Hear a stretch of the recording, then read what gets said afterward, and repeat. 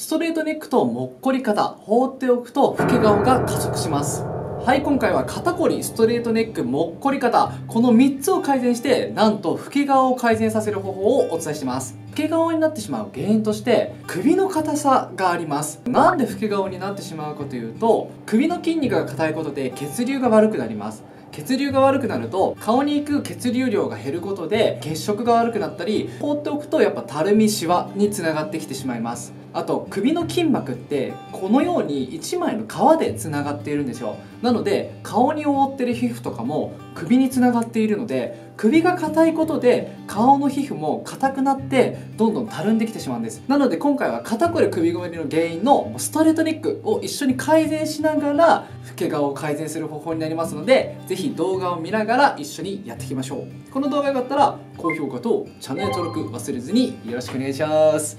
では一緒にやっていきましょう。はいではやっていきます。まず最初に皆さん姿勢のチェックをしていきましょう。ストレートネックの方ってこう横を向いた時にどうしても首がこう前に出てきてここがまっすぐの状態です。正しい姿勢っていうのは肩と耳の穴。ここがねこのように揃ってるといいんですけどほとんどの方スマホとかもねいじったりするのでどうしてもねちょっと前に出ちゃってストレートネック気味なのでまずね今自分がどれぐらいストレートネックなのかをチェックしてから今回の方法を試してください。1回で変わります。最初は首の筋肉をほぐしていきます。両手の指で首のこの真ん中に両脇の筋肉を寄せるようにぐーっと手繰り寄せてください、はい、でこの状態でまずね上をこのように向いていきます。寄せて上を向く。っていうのを123箇所でまず30秒間一緒にやっていきましょう。はいではいきます。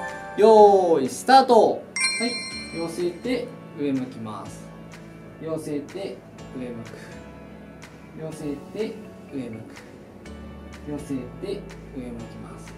はい。これを繰り返します。寄せて上向く。寄せて上向く寄せて上向く寄せて上向きます。はい。あと5秒間ぐらい。12345はいいいですよ。今度は寄せ方は一緒で下を向いてください。30秒間やっていきます。いきます。よーいスタート。寄せてもらって今度下を向きます。寄せて下を向く。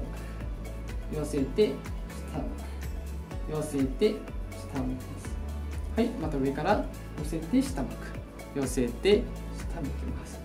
寄せて下向く。寄せて下向きます。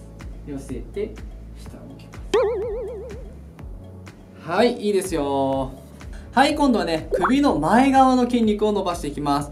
両手を鎖骨の下に当てていただいてこのように上を向いてください。顎をぐーっと天井に向けて手は下にぐーっと下ろしてここをしっかり伸ばしていきます。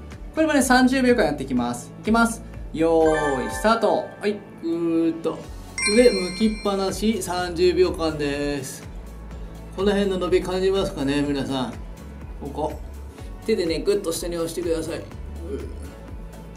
で余裕がある方は顎をうーっと上に向けてちょっとねしゃくるさせてください。こんな感じ。ここも伸びましてねここも。こ顎下に効きます。はいぐーっと向いて向いて向いて向いてもうちょっともうちょっともうちょっともうちょっともうちょっとです。はいいいですよ。はい。これね結構ね首全体が軽くなってきたと思います。今度はもっこり肩なんですけどもっこり肩はここの肩と首の境目にここにね僧帽筋的に変わるんですよ。ここ。これを3本の指でねこんな感じでつまんでください。はい。こんな感じでつまんでください。つまんだ状態で肩をぐるぐるぐるぐると回していきます。これ片方30秒間やっていきます。よーいスタート。はい。掴んだ状態で腕をぐるぐる回していきます。大きく回してくださいね。でこの掴んだところが動かないようにしっかりここは固定してください。はい今度は反対回しです。これね肩もっこりも解消できるし結構ね肩こりの人はねこれだけやってもねいいぐらいすごい効果のある運動です。はい腕は大きく回しますよ。はいいいですよ。今度反対側いきます。このね肩のもっこりを3本の指でグッとつまんでもらってまた回していきます。よーいスタート。はい回します。これね利き腕の方がね結構硬いことあるんですよ。僕ね左利きなんですけど左ね固まってますね ここ。はいしっかり回していきましょう。はい今度は反対回しです。しっかり掴んだ状態で腕はね大きくできる限り大きく回しますよ。肩からしっかり回す。肩甲骨からしっかり回すイメージです。はいいいですよ。はいそしたらここの僧帽筋またねより伸ばしていきたいんですけど首の付け根と肩の真ん中ら辺ここを2本か3本で見てねグッと押してください。押した状態で首を反対側にこう傾けていきます。はい。これをこう倒して戻す。倒して戻すをまた30秒間いきます。よーいスタート。グッと押して状態で倒します。ここが伸びますね。この辺。はい戻します。グッと押して反対側倒します。あー効くなこれ。はいグッと押して反対側倒します。この押したところから首の付け根まで伸びてるとすごくいいです。はいグッと押して倒します。はい。グッと押して倒します。はい。今度ね反対側そのままいきます。はいグッと押して倒します。肩から首の間のところ3本の指として倒していきます。首を反対側に倒します。この伸びを感じてください。はいグッと押して倒す。はいグッと押して倒す。この押したところがねツーンとしますよね。グッと押して倒します。はいいいですよ。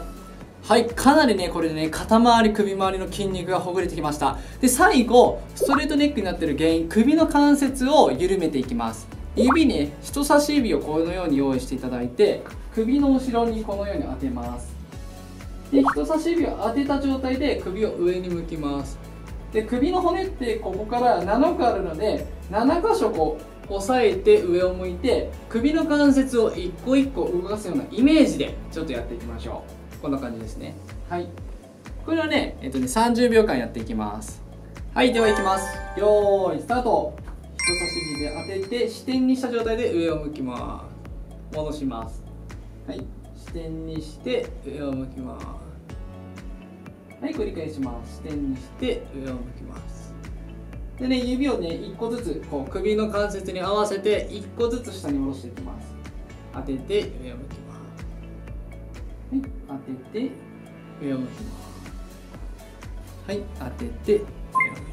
はい最後首の付け根当てて上を向きます。はいはい今度最後です。最後はストレートネックの方って首がこのように前に出ちゃってるのでこうグッと後ろに下げるように手でアシストしながらグッグッて30秒間やっていきます。でポイントはね顎をちょっと引いた状態でグッと首を後ろに下げるようなイメージ。こんな感じ。はい。これをね30秒間一緒にやっていきましょう。はいではいきます。よーいスタート。はい顎引きながらグーッと手でこっち側に押してください。まっすぐ押しましょうね。グーッとこっち側に押します。はい。こんな感じ。ですはいはい。顎引きながら手でちょっとこっちに押します、まあ、軽めでいいです。グー。こんな感じ。はい。グー。はい。グー。はい。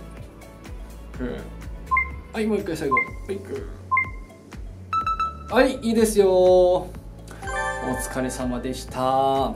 これ皆さん一通り終わったと思うんですけど姿勢良くなったの分かりますか？最初の姿勢とどれぐらい変わったかねチェックしてみてくださいこうね横向きで立った時に明らかに顔の位置がこう前に出ないでこのように後ろに来てると思います。力を抜いても顔がこのように後ろ側に来てこの、ね、ストレートネックがね改善されてる感じあると思います。でこの状態が続いてると顔の血流が良かったり首周りの筋肉とね顔の筋膜のね負担が少なくなるので老け顔が解消できます。1日1回を2週間続けてもらうと根本的にねストレートネック改善できて老け顔が解消できますのでぜひやってみてください。最後までご視聴ありがとうございました。